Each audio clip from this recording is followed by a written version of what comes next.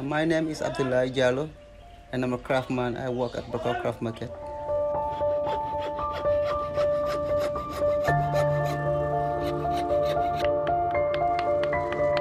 I'm a carver. I carve so many things. In terms of carving, wood, wood arts, I do anything. But I do, I do love doing portrait like plaques most of the time. That's my favorite. Sometimes people will bring me a job that I never do before, and then it gives me, to, a, makes me to think a lot, especially when I go home at times. Uh, I have to think of um, how to make that thing out of the wood. So before in the morning, sometimes I have the idea. In the morning, it's easier. When I come, I just go ahead and start the job. Yeah, I guess I think people have different ideas. People have different choice, and then um, we make different things to to attract customers. So each one, each customer comes in, you can see, you can have your idea to pick.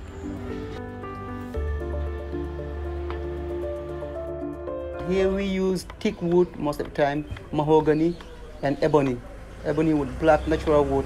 Ebony wood we use such uh, such things like jewelry, earrings, finger rings, bangles.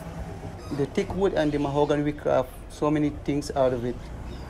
Thick wood is my favorite that I like to work with because it's easier to craft and it lasts long always, no insects.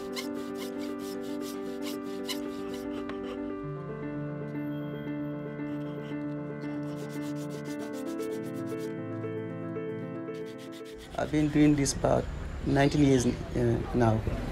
I do it for my living. Yeah, I do everything in this art.